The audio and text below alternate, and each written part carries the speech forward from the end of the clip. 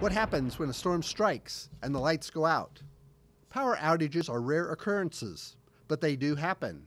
When IPL receives an outage report, linemen are dispatched to the location to determine and correct the problem. The storms can cause power lines and poles to break in addition to tree branches falling onto the power lines. When this occurs, tree trimming crews along with IPL line crews are dispatched to restore power.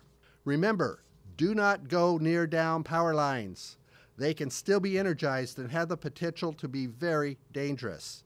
IPL crews have specialized equipment to work with down power lines and evaluate the problem so power is restored as soon as possible.